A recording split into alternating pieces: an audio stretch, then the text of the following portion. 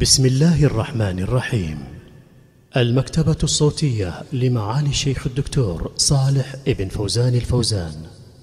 حلقات من أحكام القرآن الكريم للشيخ صالح ابن فوزان الفوزان. تفسير سورة النساء. الدرس الثامن والستون. بسم الله الرحمن الرحيم. الحمد لله رب العالمين. صلى الله وسلم على نبينا محمد وعلى آله وأصحابه أجمعين. أيها الإخوة المستمعون نواصل معكم الكلام على قوله تعالى يا أيها الناس قد جاءكم الحق من ربكم قد انتهى بنا في الحلقة السابقة إلى قوله تعالى وكان الله عليما حكيما في آخر الآية. بعد قوله وإن, وإن تكفروا فإن لله ما في السماوات ولا وما فإن لله ما في السماوات والأرض. وكان الله عليما حكيما. أي أنه سبحانه وتعالى عليم بأفعالهم وكفرهم وإيمانهم. لا يخفى عليه شيء من ذلك.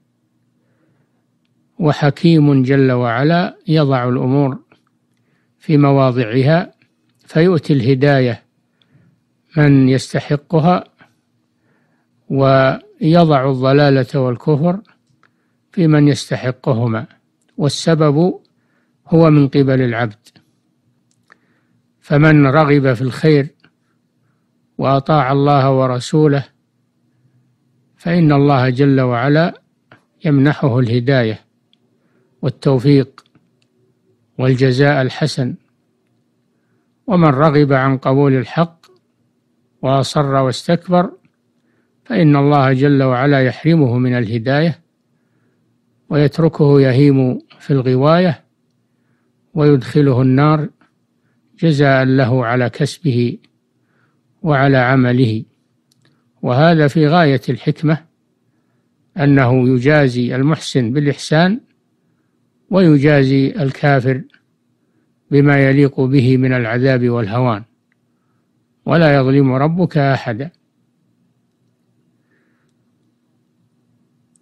ثم قال سبحانه وتعالى يا أهل الكتاب في الأول خاطب الناس وأمرهم باتباع هذا الرسول صلى الله عليه وسلم ويدخل فيهم أهل الكتاب ثم خص أهل الكتاب بهذا النداء لأنهم يزعمون أنهم على حق وأنهم أتباع للرسل ومع هذا ارتكبوا كفريات كثيرة أعظمها كفرهم بمحمد صلى الله عليه وسلم واستكبارهم وعنادهم عن اتباعه صلى الله عليه وسلم وهو رسول الله إليهم وهم يعلمون ذلك مما في أيديهم من التوراة والإنجيل ومما بشرت به الرسل بمحمد صلى الله عليه وسلم وآخرهم عيسى عليه السلام. قال ومبشرا برسول يأتي من بعد اسمه أحمد. فخصهم الله بهذا النداء لأنهم لأنهم أحق الناس باتباع هذا الرسول صلى الله عليه وسلم. وأقرب الناس إلى اتباعه لما عندهم من العلم به ومعرفته ومع هذا تنكروا له. وأبوا أن يدخلوا في دينه استكبارا وعنادا. فلذلك ناداهم الله بهذا النداء يا أهل الكتاب والمراد بهم اليهود والنصارى. لأن اليهود عندهم الكتاب وهو التوراة والنصارى عندهم الكتاب وهو الإنجيل. وهذا فيه نوع تبكيت لهم.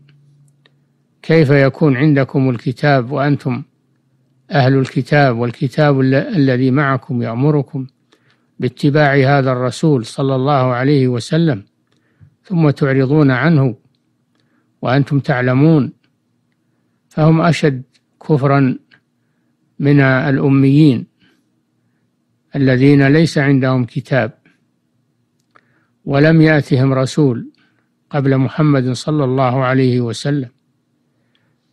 فكفر اليهود والنصارى أغلظ لأنه عن علم ومعرفة. وبعد قيام الحجة عليهم يا أهل الكتاب لا تغلوا في دينكم.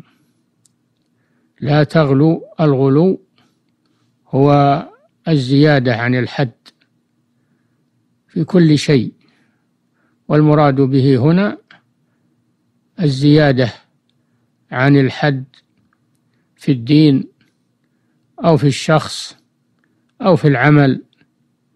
فالمطلوب من المسلم الاعتدال بين الإفراط والتفريط. بين الغلو والجفاء. لا تغلوا في دينكم أي لا تزيدوا عن الحد المشروع في الدين بالرهبانية التي ما كتبها الله عليكم. ولا تغلوا كذلك في الأشخاص فتغلوا كما غلت أسلافكم غلا اليهود في عزير وغلا النصارى في المسيح. هذا غلو في الأشخاص. والمطلوب الاعتدال في حق الرسل عليهم الصلاة والسلام. فلا يرفعون فوق درجتهم التي أعطاهم الله وفضلهم بها من مرتبة العبودية والرسالة. فيرفعون إلى مرتبة الألوهية والربوبية. هذا غلو في الأشخاص. ولذلك قال ولا تقولوا على الله إلا الحق. كما أن الله أنزل عليكم الحق وبينه لكم فلا تخرجوا عنه بالغلو والزيادة والتنطع. فإن الغلو ليس من الدين كما أن التساهل والجفا ليس من الدين. ودين الله هو الوسط بين الغالي والجافي.